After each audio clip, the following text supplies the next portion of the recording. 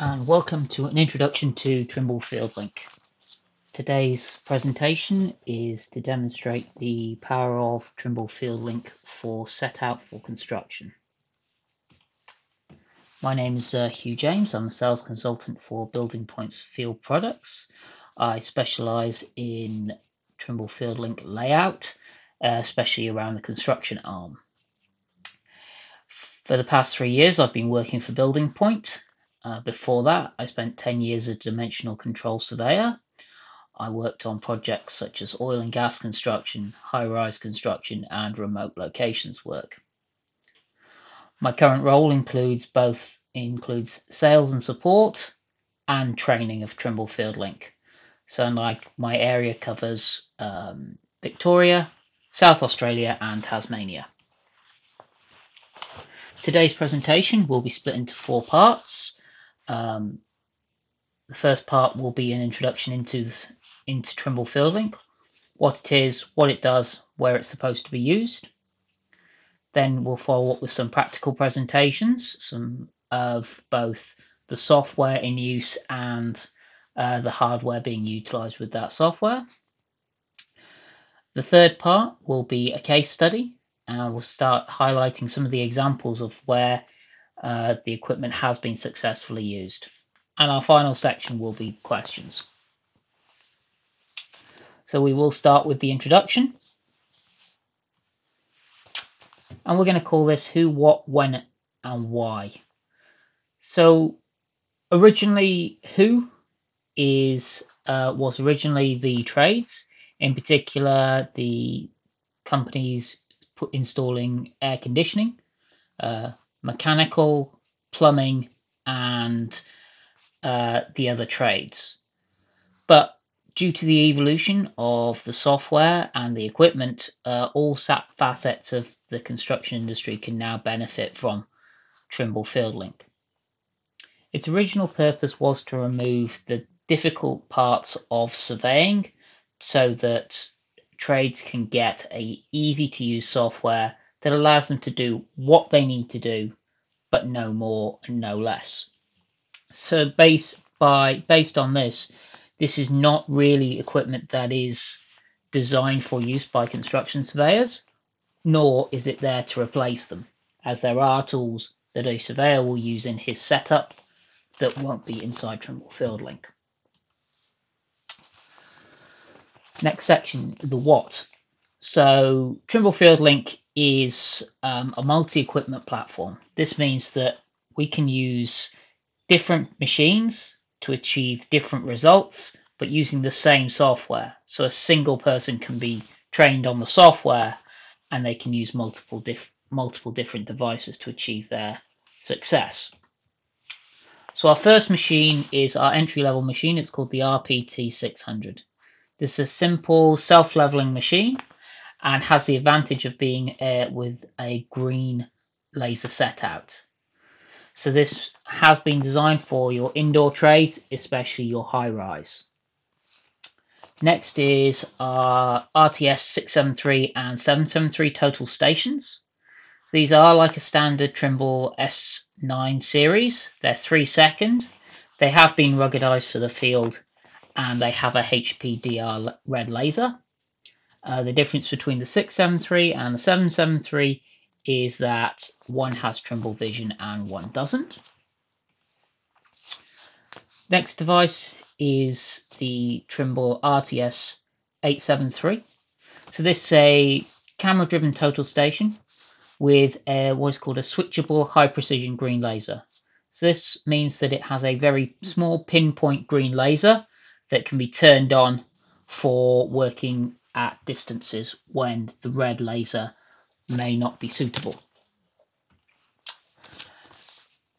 Trimble FieldLink can also be paired with uh, an SPS 986 GPS receiver, so the same software can then be used over an expanded area.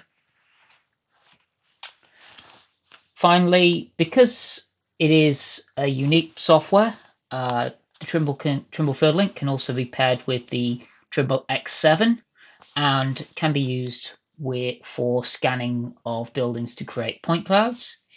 if you'd like some further information about that, I do recommend you watch the video introducing the Trimble X7 and Trimble field points that was run by Fraser Wright uh, uh, earlier this week. So when would Trimble FieldLink be used? Okay, because it has flexibility at the core of what it does, Trimble FieldLink can be used in lots of different ways.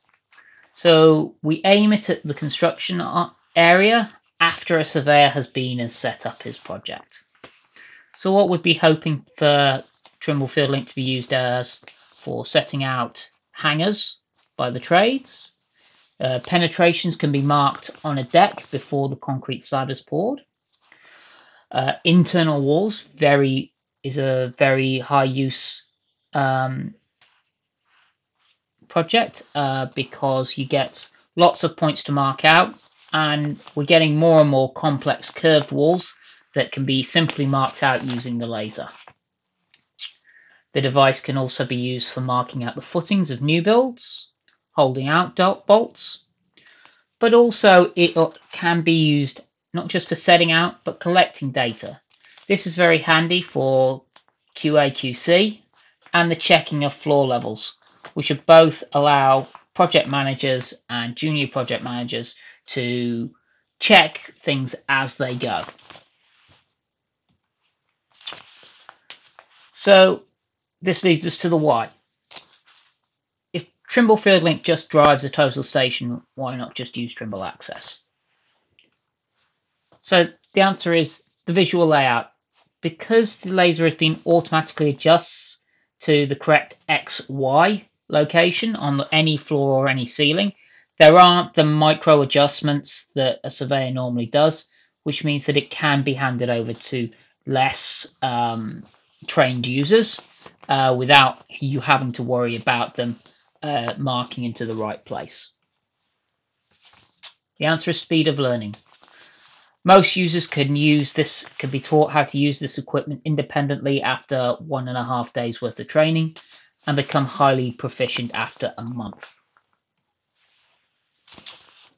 The answer is product focus. So Trimble FieldLink has been designed for the building construction industry, therefore it does do what the customers need it to do and nothing else. That means that there's no clutter on the screen and it becomes faster and easier to use. And finally, versatility. As shown in the pre previously, there are lots of different devices that can be hooked up to Trimble FieldLink, which means that the user can pick the correct device to suit the task at hand.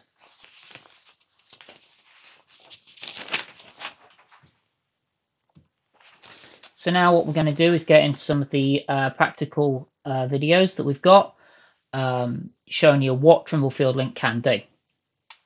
So our first one is going to be about some of the tools and uh, extra little bits and pieces that you can do with Trimble FieldLink to make your project more efficient. So what we're going to do is we're going to start off with this uh, by showing you what uh, drawings we can use with Trimble FieldLink. So I've opened up a clean job and now I'm going to import some models. So as you can see, this is going to give you an idea of all the different types of drawings and models that we can get into our into Trimble FieldLink. So here we have a 2D DXF plan. We have a 2D DWG plan, a 3D SketchUp model, a 3D DWG model, an IFC, we can also import CSVs and finally PDFs. So what I'm going to do here is I'm going to show you how it can actually take multiple different types of models and merge them together. So I'm going to start on my DXF and I'm going to select it here. As you can see, nice and orange. Hit the import button down at the bottom. It's going to import our model. Then we're going to select our DWG and finally our IFC. Once all three of these have been imported, I can go up to my More menu here select map, and here we have all three models merged together. If I click on this zipper here, we have our standard view tools and we can turn it into perspective mode and 3D orbit round our model. Zoom in and zoom out. So one thing we do have with Trimble FieldLink is full layer control. By opening up this zipper, I can select my layers. And if I want to turn part of one of the models off, I just simply click and now our roof has been taken out and we can see the insides of our building. We've got our tracks, our pipes and our units. If I reopen the zipper, I can select this button here and that's going to allow me to turn off each of those three individual models. So I can turn off my 2D layout, turn off my 3D structural model, and turn on and off my my 2D my 3D IFC. Then I can close that back up. And again, I've got my model that I can see and view. What we have is now the perfect merge between 2D and 3D. So what I'm going to do is I'm just going to jump back into my top view and I'm going to show you how we're going to create points directly from our model in the field. So I'm going to go up to my next steps. I'm going to go up to my create menu at the top.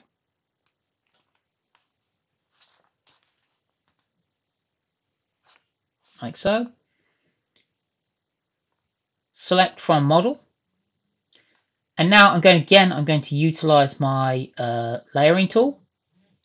And I'm going to select directly from my drawing my grid lines. As you can see, it's highlighted the grids in the drawing and also on the side the layer that I want to turn on and off. So now with a double tap I can isolate that layer and just the items on that layer have been created. I can click on the intersections. I could also have picked on endpoints, midpoints or the centers of circles hit this pencil and paper edit button and actually create a layer live in the field for my set out points. So in this case, I'm going to be creating my grid intersections. So I'm going to type in grid intersections, grid points into my drawing, select the lasso tool, and it's created every intersection point. It's found them I have these blue points that are going to let me check before I actually create. And now every intersection has got what we call a set out point created ready for the field. Now, if I tap on this eye, you can see I can click on each of these points and it's going to have its own X, Y, Z coordinates, as well as showing what the layer that, that they're on. This is important because when we lay it out, the true 3D coordinates of the point that we've laid out will be recorded and we can have a comparison of those two points either as a report or imported back into Trimble FieldLink. So one thing I was going to quickly show you is here my grid layer points layer has been created with these three dots. This means that it is a its file with points in it rather than our def points at the top here, which has got uh, these squares. So the difference between the squares are the squares represent background information, whereas points represent set out points. So again, I'm just going to flip myself into my perspective mode by selecting here and you can see my points have been created in 3D on my model. So now what we're going to do is I'm going to turn you turn it into my layout mode. I'm going to show you how that information would then be utilized. Simply all we have to do is click on one of those points, those white dots, and our machine will actually turn and move or guide us into our location if we were using the prism. So the clever thing about Trimble Field Link, you don't just have to have the set out points, you can select your lines directly from your model. And with the tap of this, I can add an offset, but in this case, I'm not going to. And we can decide on how often a point appears along that line. So I'm going to change that to one meter, like so. And now all I have to do is simply select directly from my model or my drawing, and it's created a, a blue line with individual points directly on our, our line, each at one meter. So if I want to then start laying out, all I have to do is click on one point at the start. It will lay that point out, and then with it will just keep on tracking down the line until we've laid out all those points. As I mentioned previously, we can add an offset. So as you can see, our points are now offset off our line by 200 mils. This is if we don't, if we want to be able to give our points some room. We can either have it on one side, on both sides, or on the other side. So with a simple click of a button, we can move it from side to side, like so. As you can see, that becomes start to show you the versatility and flexibility of Trimble FieldLink in the field. What we can actually do now is we can do exactly the same thing what we did with the line with our curve. So we can either select a curve or a circle. So if I zoom in on one of my circles, you can see here I've got an interval of 100 mils with a zero offset. So I'm going to zoom in, click on the circle, and as you can see, a series of points have been created around the edge of the, the line of the circle, and then all I have to do is select my start point, and my laser will start to lay out that circle in perfect 3D.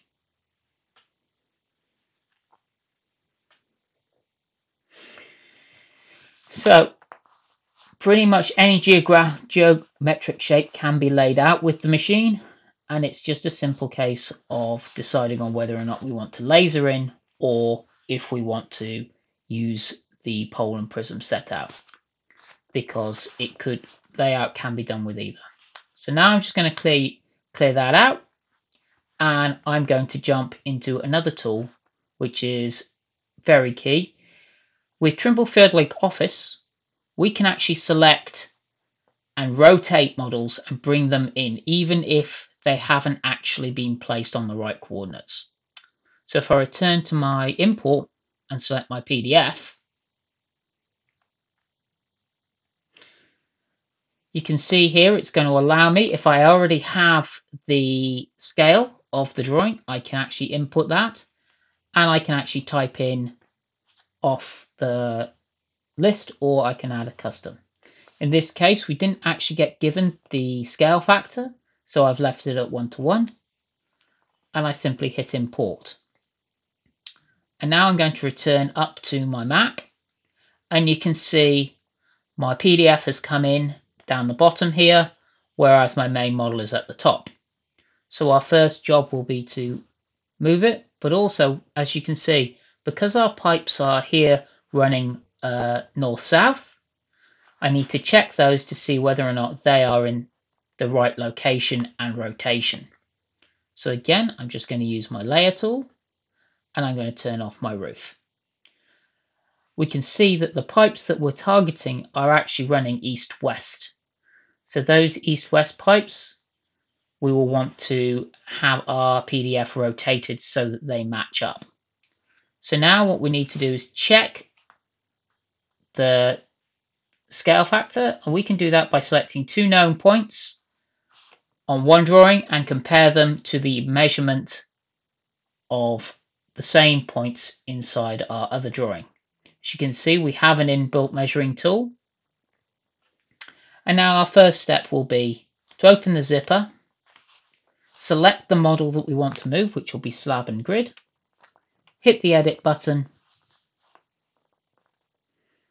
and now we can actually pick the model up and move it closer so that we can see our perspective. One thing I want to draw your attention to is that our model that we want to move is highlighted in one color and our main model stays in another. So if I select my edit button, I can import input my scale factor and I got that by dividing my two sets of grid distances. So that was 1.67 in this case. And I'm going to need to rotate my model by 90 degrees. So I'm going to leave that as it is, but if I wish to, I could change it. So now this leaves us with a simple procedure of hitting scale to make it the correct size and just tapping one of these rotation buttons and we can make the model rotate around 90 degrees. So now we have our drawing on the right orientation and the right size. We just need to have it in the correct position. So if I tap on this button here, I can pick the point of displacement. So I'm going to pick one of my grid intersections. And because we have a snap tool, it's going to go straight onto the intersection. Then all I need to do is pick my whole model up based on that point of movement, take it to the same location in the model. And as you can see, the two points are perfectly overlain. So now my model is being scaled, rotated, and moved so that it is in the correct location for our site drawings and our site plans. So that's going to take us to a point where we can now export that and send that to the field via Trimble Connect if we wished, because it's inbuilt into the tablet, or we can go to our export and we can export by simply tapping. We can add it onto our desktop, send it through to Trimble Connect here, through the desktop, or finally through the memory stick. As you can see, it's all done on pictograms, and that is how we would successfully prep a model for the field before we went out to uh, do any work. So that's going to conclude the first um, video that's going to talk about data preparation. Now we want to move on to a second video which is going to show you how the equipment works when it's being utilized in the field. So what we're going to utilize today is Trimble's uh, software they call uh, Virtual Layout. This allows us to run a FieldLink program whilst controlling a virtual construction site. Uh, so our Trimble FieldLink is on the left and our virtual construction site is on the right. Sorry, on the left is Trimble FieldLink, on the right is our virtual construction site. So if I just start this video, you can see we've got the split screen. Uh, on our right, we have our total station, and we have our worker who's going to be doing our set out for us today. So this has all been set up. I would like to apologize to people right now. This is an American program, so it is unfortunately locked to um, feet and inches. So as you can see on my left hand side, I've got my device connected already. It's telling me how much power and you can see the little pictogram is a picture of a total station. If I have my RPT or my um, connected, it would be a picture of an RPT. So the first thing I'm going to do is I'm going to do a simple setup. And this is a case of picking two points on my drawing and then picking a point on my drawing, measuring it, picking a second, and then allowing the unit to uh, set itself up. On our left hand side, you can see the prism is spinning. So that means that we don't have a lock. So I'm going to move my total station round using Trimble Vision. So it's pointing roughly at the prism. And now you can see that on our left hand side, our prism has stopped moving. This means that we have a successful lock. So now I can select my first point on my drawing and my worker can move over to that location like so. And as you can see, this is why we do need our surveyors because they've left some grid intersect, some grid pins for us to set up on. So once we're happy with our setup location, we simply go star and it's going to measure our point. Now we select our second setup point off our drawing and the computer is going to tell us how far that should be and gives us our computed distance. We're going to send our guy, our worker over to that second point. As you can see, there's a red stripe there showing that we still have a lock onto the prism, and that is the line of sight as the machine moves round. So now we go on to our second point, like so. And once again, once we're happy with our location, we hit the star button and it's going to calculate out through our location. So in this case, our instrument is within uh, 0.007 of a foot. That is about three millimeters. So for the sake of this demonstration, I'm going to hit set. And now our machine is ready to lay out. And that process again is just a very, very simple one. As you can see, I've pre-prepared some points. So now I'm going to hit on my measure at the top, go down to layout, and now simply select one of those points on the floor, like so, and our machine and our field link is going to tell us where our bloke has our worker has to work.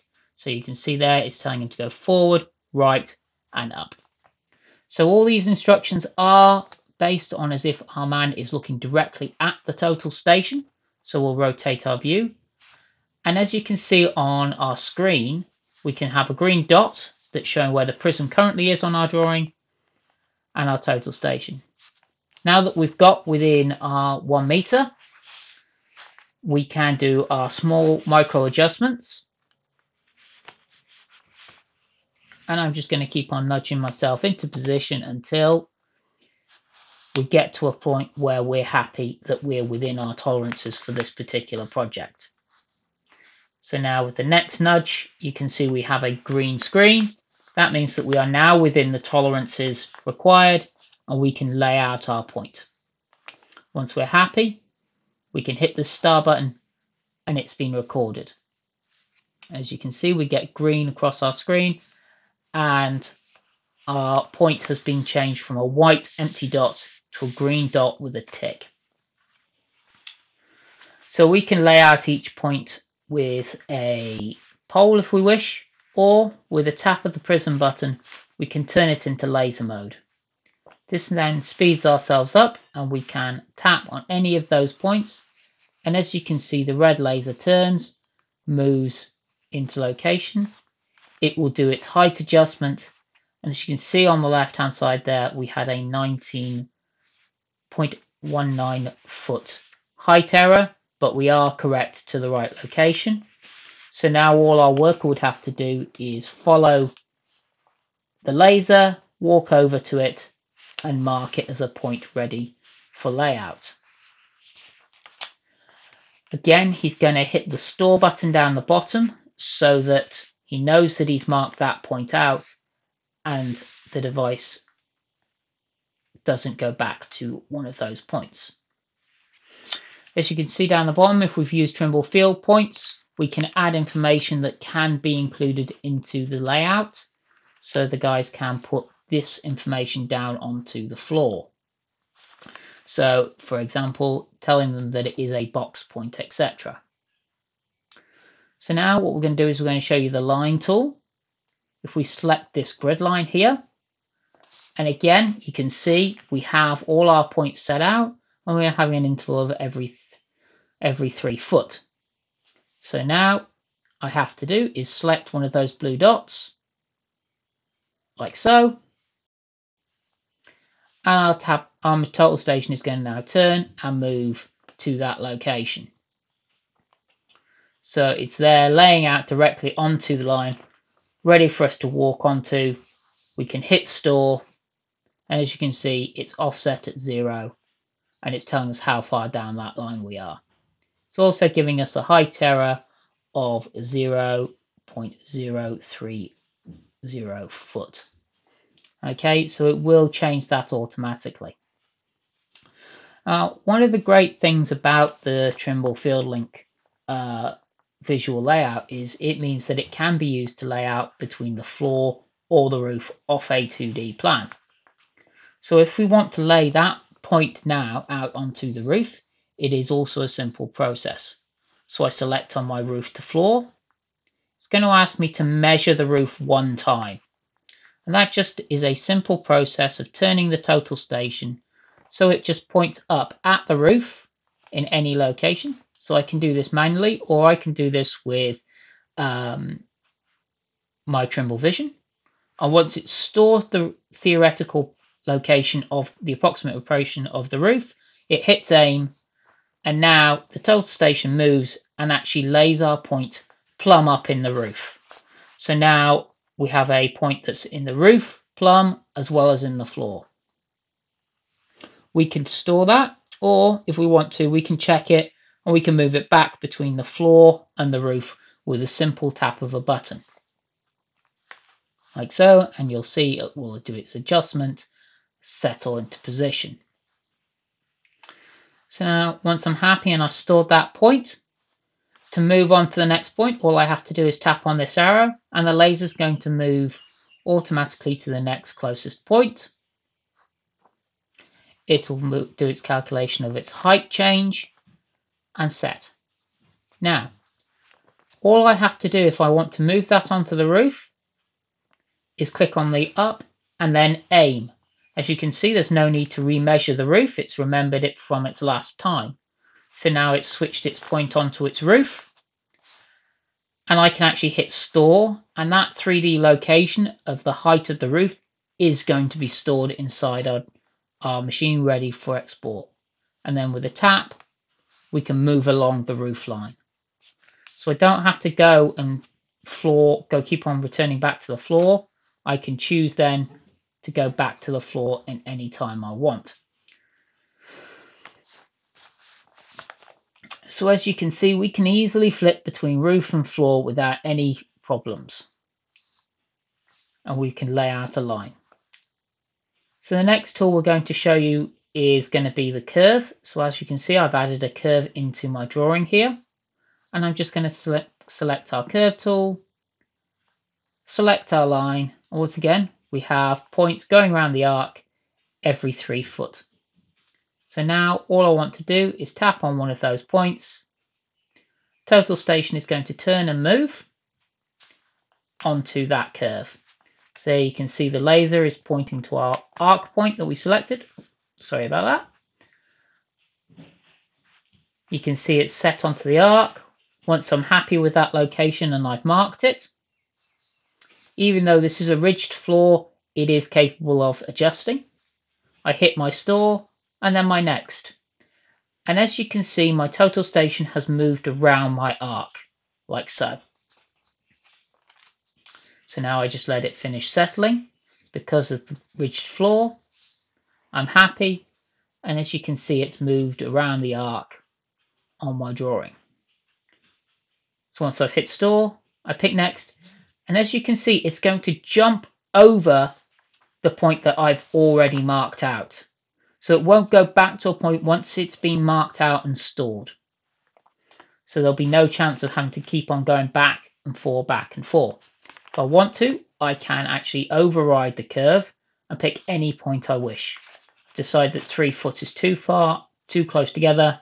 I'm going to do further apart. and once again, I can just hit store that point has been marked out and it's going to go into my QAQC document. So as well as being able to mark points out, we can also collect information. So we can either use our pole and prism or our laser. So I'm going to stick in my laser mode for the moment. And as you can see, we have a lift core behind us. So if I close out of my collect tool, my layout tool and go into my collect tool, like so. I can now turn my machine and collect items. First thing we want to do is we want to uh, create a layer. So I can call it as built and I can give it any the point any name I want. So in this case, I've picked T10. Uh, because I'm picking up a lift core, I will just move it round to the lift core. I want to know its position in its uh, east-west. So I'll just pick a line. And then it's just a simple case of pressing star and it's going to record that point.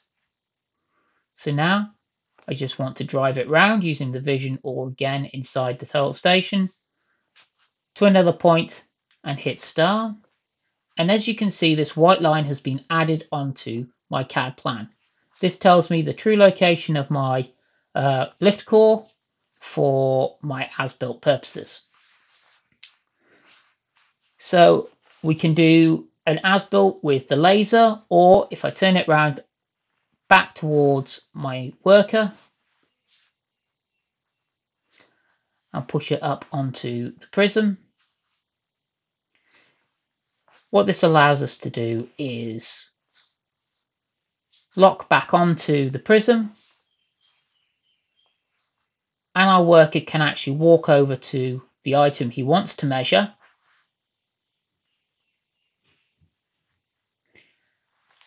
and measure in the next item. So as we saw previously, there was a little apron on the lift core. So he's going to go over to that apron, right onto the edge, put his pole onto the edge, keeping it level. Once he's happy with his position, we can click the star button and it records the point. And he can walk down the apron and the total station will follow him. And now he hits the star again, and that edge of apron has been recorded. So as you can see, the apron is slightly offline and on a slight curve, but should be in tolerance. So that's pretty much going to conclude our practical presentations of Trimble FieldLink.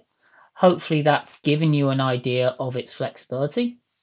Um, we don't just have to collect lines, we can collect points and curves as well. So now we've completed through our present our ideas of how it works. We're going to show you where it works. So we've got five case studies of where Trimble has been successfully integrated into different parts of the construction industry here in Australia. So the first one is the Trimble RPT was is being used by a high-rise plumber. So the reason that they wanted it, they looked at it originally, is that they wanted to reduce the number of people required to set out, and they wanted to also increase the speed of their set out. It was currently taking them two days with two men to set out a floor on a project. They managed to reduce that down to one man doing it in half a day. Secondary benefit for them meant that because they knew that um, their points were going in correctly, they could work east to west across the building, meaning that items could be installed whilst set out was still going on. I mean, they didn't have to work in their standard um, way. They didn't have to work uh, wait till all their mains were installed before they started installing their sprinklers. This reduced their standing time and increased their overall efficiency. Because of this, preferential access was given by the builders who want to get the benefits of the technology onto their site, allowing them to meet their tighter timetables. So by giving them a little bit of extra time at the start, they saved a whole bunch of time as they went on. Because of these cost savings, they were able to target major blue ribbon projects that they previously hadn't thought about being able to do. Again, this is another use case for the Trimble RPT. Uh, this was purchased by a set of uh, residential building inspectors. What they wanted to do was they wanted to digitize their process, as has been the same for years and years, to give themselves a competitive edge in the marketplace. As a direct benefit of but of having this system, they were able to win an exclusive contract with one of the mass tier one of the tier one mass builders here in Victoria. Uh, as they builder gets the benefit of digital reports quicker, which are more accurate, and they can provide information that they would previously not have got. So these particular inspectors were able to load SketchUp directly into their T10 tablets, and that means that the draft the data can be moved into the drafting program and a report can be created whilst they're sitting in their trucks on site.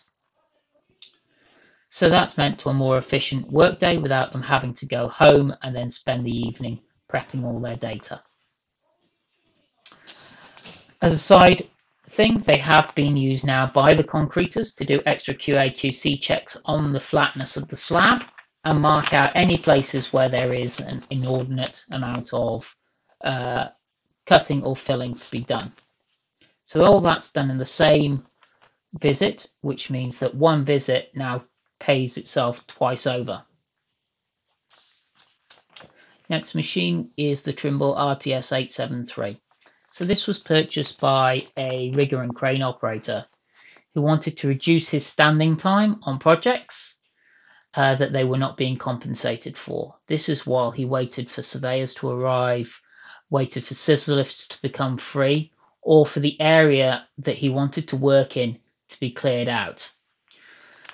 Because he needed large areas previously to pull tapes across flat walls, obviously he needed a very large clear area and he needed to free up two scissor lifts, which was time consuming. Secondary benefit of this was that 90% of his work come from a single fabricator. Because his results of his set out were being fed directly back into Tekla, it meant all the cut sizes were correct first time for the fabricator, which meant the fabricator reduced its rework and it secured a pipeline of work with that fabricator for the crane and rigging operator. Both uh, the crane operator and the owner are colorblind, so they didn't want to use red lasers because they couldn't see it in the sun. And the RTS 873 gave them that high precision ability that they could see without having to do much messing about. Because you can change the intensity on the um, RTS 873's laser, it means that you can lay out onto virtually any surface uh, by changing the intensity to always make sure you're getting a good return. So that's given them a lot of confidence that they can go to site and do the layout that they want to do. Our next uh, case study is for the Trimble 773. So this was purchased for a um, remote location job. Um, it was a blue ribbon job in a remote location in Queensland. And basically, their problem was that they wanted to set out, but they didn't want to have a hire a surveyor and have him permanently flying in and out. So they purchased the 773 to hand over to their excavator operators and their leading hands so they could do the mark out and set out themselves. So as the project progressed, the uh, crew got more and more confidence dealing with their set out, and this let them set out items that had not been originally budgeted that had been originally budgeted for specialist set out and they could take that on themselves. These include the feature cutouts, such as the concrete gull wings that you can see in the picture. Because of the uh, blue ribbon nature of this, there were a lot of these very strange shaped walls and curves in the design, which the guys could simply take off the drawing interface and they didn't get overwhelmed by this design so this was able to make them feel more comfortable and happier. Because of the successful use of the RTS, they were more encouraged to open doors to other equipment, such as scanners and drones, which they now both use. Finally, we've got our Trimble uh, 673. So the users on this are junior project managers and project coordinators. So the original reason for this purchase was they wanted to do QA QC checks on the subcontractor's work and spot verifications of the build as it went on. So uh, as they progressed, um, they found that every so often the subbies needed a point putting out, um, but that was signed up because they were having to wait for a surveyor. So with this device on site, they could quickly jump out, set the point out for the subby, so it didn't give them an excuse to stop working, send guys away from site. This meant that the project kept moving at its high pace. Because more and more projects have benefited from uh, the the equipment use um, inside the firm. Uh, they have embedded it into their entire workflow. This means that as uh, the users progress inside the structure of the company uh, to more senior work, they were able to then train their replacements without any fuss. So the chain have never got broken because they had their own workflow and they were able just to pass that workflow on through the line without any problems.